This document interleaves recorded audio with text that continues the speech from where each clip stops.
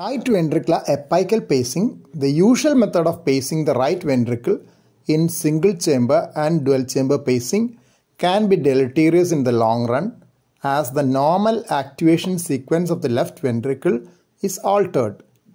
ECG in right ventricular pacing has a left bundle branch block pattern and hence the left ventricular activation sequence can produce intraventricular dyssynchrony with lateral wall contracting later than the septum.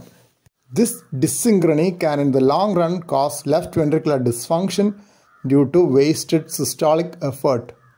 Long-term right ventricular apical pacing can also have deleterious effects on left atrial structure and function. There can be a higher chance for atrial fibrillation and heart failure. Hence, various algorithms to reduce ventricular pacing have been developed. Right ventricular outflow or septal pacing have also been proposed as alternatives.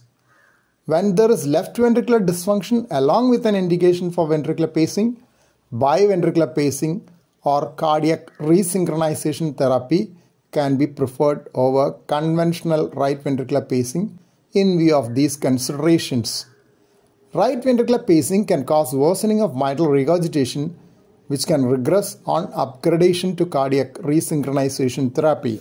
Newer pacing modalities like His bundle pacing and left bundle branch block correction are aimed at preventing right ventricular pacing induced left ventricular dyssynchrony and dysfunction in the long term.